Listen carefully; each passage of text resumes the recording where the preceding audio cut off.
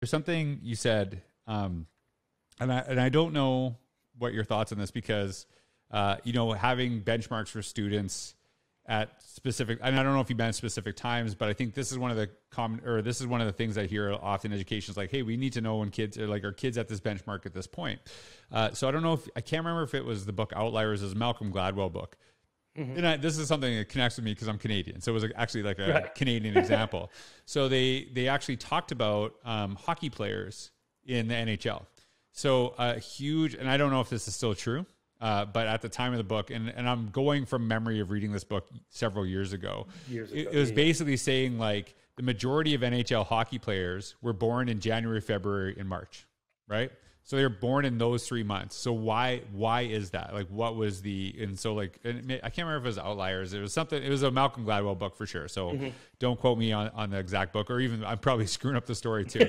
so this sounds good. Say it. Yeah, like uh, even if I make this up, it sounds good. So the so like basically the, what he had what he had connected was so like if you think about a kid who's so in Canada growing up, a kid that is five years old in it, that turns five in January and a kid who turns five in December playing in the same league.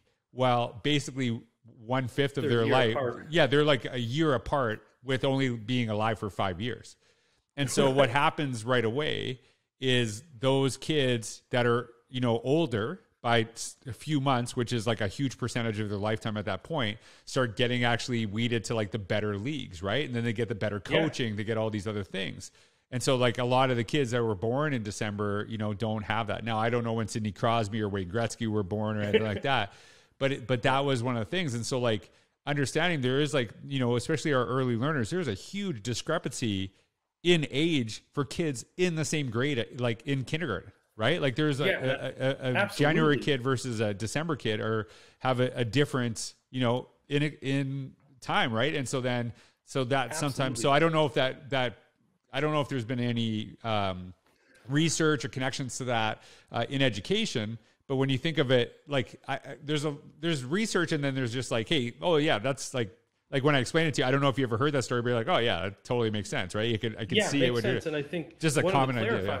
Yeah, absolutely. One of the clarifying things I wanted to jump into, especially using the hockey story and different things, when I was saying where students are at a certain time. Right. One of the things I want to be clear is what I mean by that is I'm not comparing them to the other 23 kids in the class. Right, right. We're just comparing themselves to themselves. Right. So if, if the student who was, you know, for us in, in, in our public education here, we see that for the student who was born in August and the student who was born in September because September starts school, August that kid gets a whole nother year, and right. they start a year later. Right. So that common assessment for benchmarking again from the, my job as when I was curriculum director and principal, it was for themselves. Right. So if I was eight months older than my the kid who was sitting next to me, I'm not judged versus each other. We're, I'm judged about myself, and I think that's that's where common assessment gets lost. Is that we're not comparing. It's not a group comparison it's making sure that each student continues to grow right. at an appropriate pace.